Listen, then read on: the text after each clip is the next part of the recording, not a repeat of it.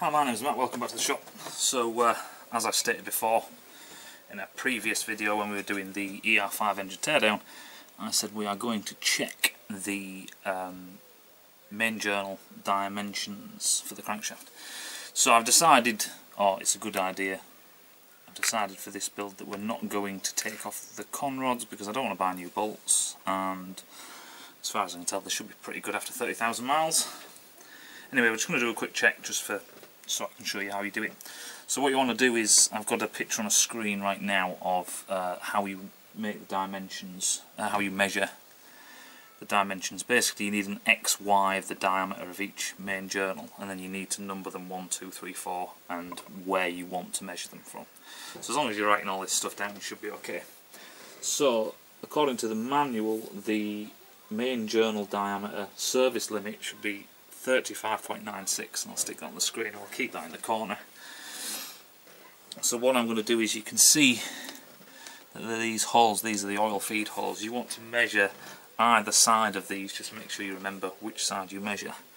So I'll start with the end the end um, journal first and what I've got here is 36 36.5 and in our manual that seems good. 36 36.0 oh, uh, 36.12 sorry. We'll go 90 degrees from that. We'll try again. 36 0.08 then we'll check here. There's a lot more wear in the middle which you kind of expect with a rocking couple. And here I've got 36.01 I'll go perpendicular to that.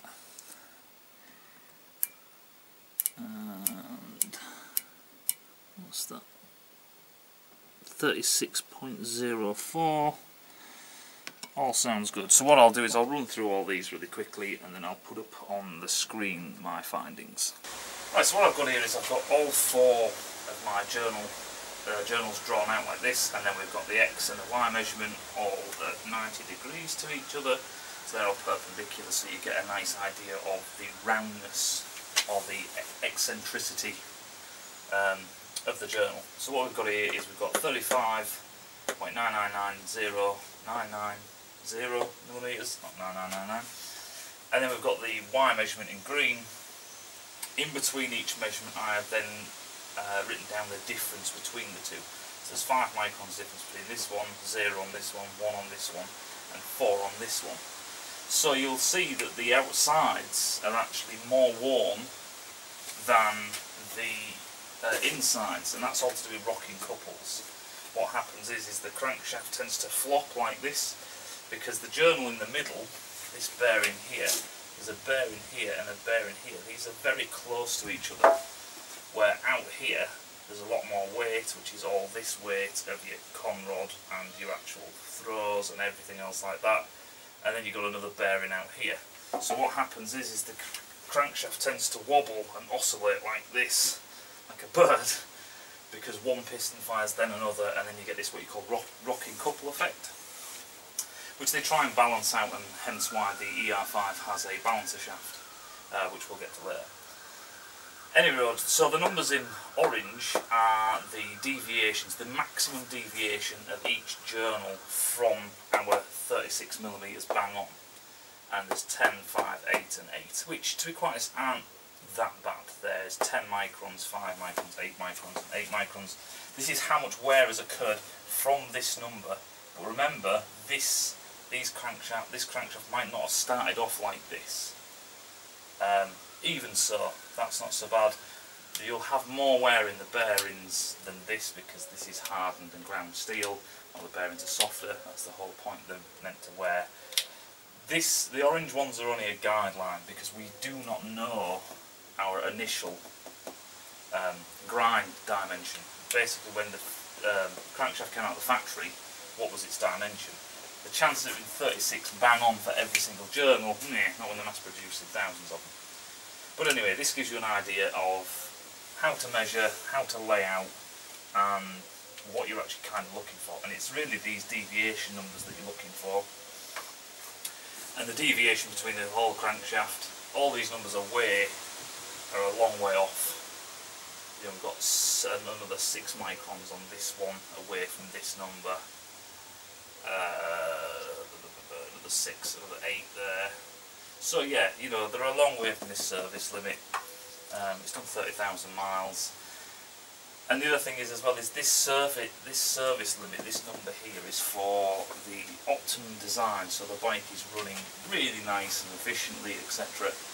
Um, if you get rid of this number, you know, you can run engines to the fact where the, the fact where they're sloppy. There are engines out there, diesels and stuff that have been running for 250,000 miles. It's not imperative that you have to stick with these numbers.